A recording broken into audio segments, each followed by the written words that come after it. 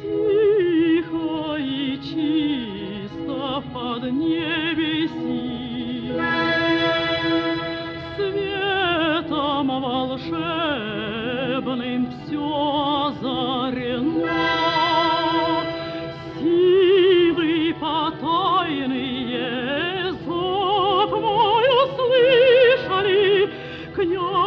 же судьбы твоей тайна открывай.